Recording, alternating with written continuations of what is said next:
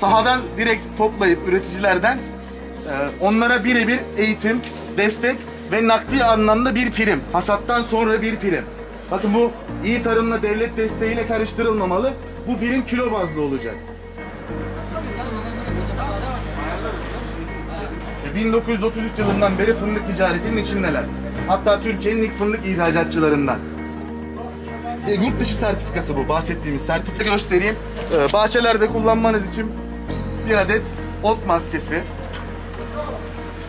İlaçlamalar bizim için çok önemli. Özellikle ilaçlama yaparken tek kullanımlık tulum. İlaçlama yaparken muhakkak başka birine de yaptırıyorsanız bundan kullanın. Benden istediğiniz takdirde ben bunu yenileyeceğim.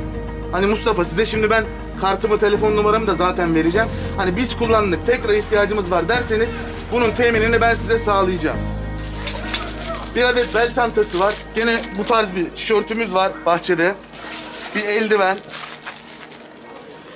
Bir tane ilaçlama maskesi. Özellikle rica ediyorum ilaç atanlara bu maskeleri kullandırın zehri solumasınlar. Gene burada bir misinamız var. Bahçelerde kullanmanız için.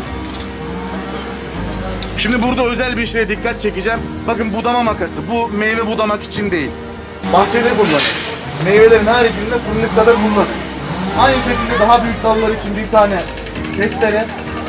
Gübre atıyorsa attığı gübrenin faturasını alacak. Çünkü ben bu ürünün kimyasal girdi takibini de yapıyorum. Atıyorum bana beyan etmediniz. Sırgan ilacı kullandınız ki sırgan ilacı yasak.